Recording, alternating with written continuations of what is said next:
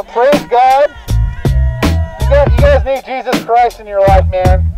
Being these women out here being naked, you know, this isn't a good thing. The, the Bible said the Bible says that a godly woman, a Christian woman, dresses modestly. You know, going out to the beach wearing your panties is not modest.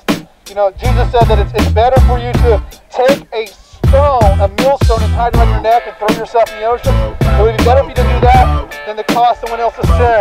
And if you think that walking around naked is not causing all these young men to sin and these young women, then, you're, you're blind, you're lost. God bless you guys with a heart of repentance. God bless every single one of you. Jesus Christ is coming back. The Lord is returning. He drew a, a, a, a line in the sand. Better cross it while you can before it's too late.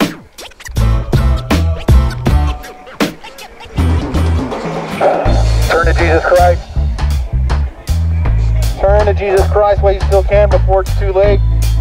That's right. See, there's some Christians out here that want to hear the gospel, you know, the good news that Jesus Christ saves.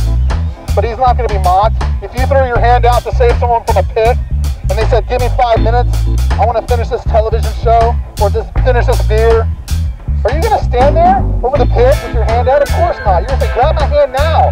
God is crying out saying, grab his hand right now. He's here to save you from the pit, from the miry clay, and set you on the rock. The rock of ages, Jesus Christ, the Son of God. The rock, the foundation that cannot be shaken. Jesus Christ, Christ talked about two men, one built their house on the sand, and the storm came, and the man's house collapsed. And then there was another man that built his house on the rock, and the storm came, and the wind came. His house was not shaken, because his house was built on the rock of Jesus Christ. Who do you build your life upon? Jesus Christ? Do you build it on the sand? Think about it. Where do you build your life? What, what, do you what do you baptize your life with? What do you submerge your life in? What are you submerged in? Are you submerged in the Word of God, the Holy Spirit, Jesus Christ, Jehovah God? Or are you just following the lust of your flesh like an animal in the forest? You get horny, so you look at some porn. You get excited, so you want to go see a movie. I don't look at porn. I don't look at porn. I don't. I don't even watch television. It's disgusting. Look at all the disgusting things we, we submit our children to this.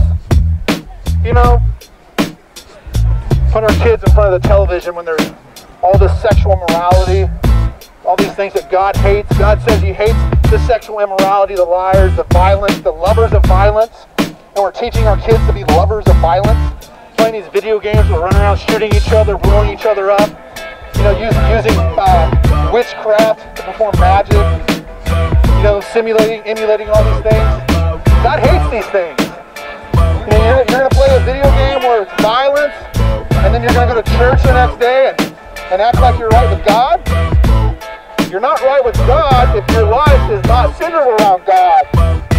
There is one God, and that is Jesus Christ. That's the only one that you should be idolizing. That's the only one that you should be disciplining your life after. A Christian is a disciple of Christ, and only Christians go to heaven. If you're not a disciple of Christ, if you've not disciplined your life after Him, your walk and ways after Him, seeking out His Word, learning what He wants you to do, then you're not a Christian. Just, just be, just, just be honest about it.